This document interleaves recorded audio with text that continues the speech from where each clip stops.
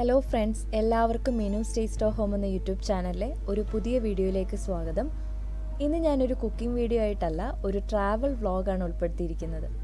ഈ ഒരു വീഡിയോയിൽ ലോക്ക്ഡൗണിന് ശേഷമുള്ള മെൽബൺ എങ്ങനെയാണെന്ന് നമുക്ക് കാണാം.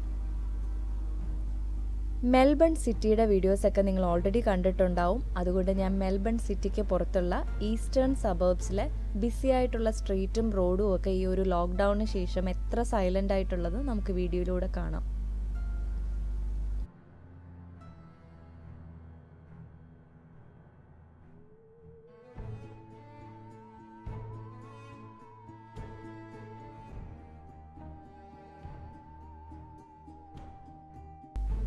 കൊറോണയുടെ വ്യാപനം തടയുന്നതിനായിട്ട് ഇവിടെ വിക്ടോറിയ ഗവൺമെന്റ് പുതിയ ചില നിയന്ത്രണങ്ങളൊക്കെ ഏർപ്പെടുത്തിയിട്ടുണ്ട്. അവ ഏതൊക്കെയാണെന്ന് നമുക്ക് ആദ്യം നോക്കാം.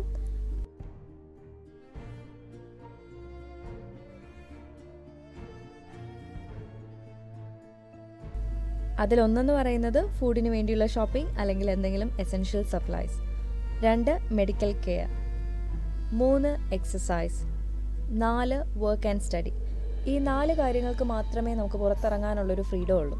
അഥവാ പുറത്തിറങ്ങിയിരുന്നാലും നമ്മൾ സോഷ്യൽ ഡിസ്റ്റൻസിങ് പാലിക്കണം. അതായത് ഒന്നര മീറ്റർ അകലം പാലിച്ചു വേണം നമ്മൾ മൂവ് ചെയ്യാനായിട്ട്.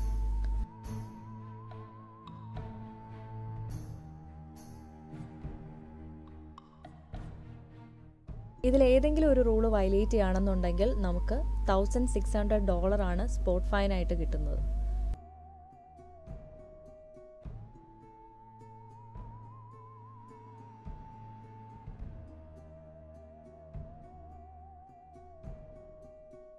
ഇവിടുത്തെ പ്രൈം മിനിസ്റ്റർ സ്കോട്ട് മോറിസൺ പറയുന്നത് ഏകദേശം സിക്സ് മന്തോളം ഈ ഒരു റെസ്ട്രിക്ഷൻസ് അതുപോലെ ഫോളോ ചെയ്യുന്നുള്ളതാണ്.